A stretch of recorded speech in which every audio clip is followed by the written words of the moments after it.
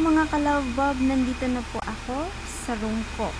Suot ko ang aking slippers, SpongeBob, ang aking basahan, look, basahan, para pagpasok mo ng room, punas-punas ka lang, iwan mo lang yung chinelas mo dito. Pagpasok mo is higaan agad. Kasi sobrang liit lang talaga ng kwarto ko. Kasi maliit lang naman din talaga yung bahay lang namin. Maliit lang talaga. So yung bahay namin ay may tatlong room. Sa ate ko, sa kapatid kong lalaki, at sa akin. Pero dito, kasama ko yung bunso kong kapatid na natutulog. Kahit hindi siya makafan masyado ng SpongeBob. Nakikipan na rin siya. Actually, siya nga may gawa na nagtutulog.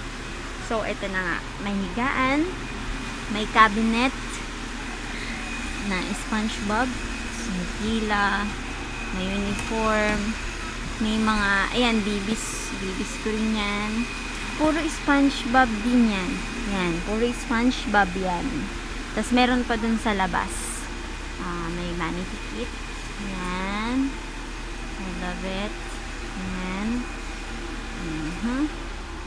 Ito yung pinagawa ko na cabinet. Yan. Yan. And then, may stuffed toys. Ito galing tong Star City. Eh. Yan. So, yan. Yan.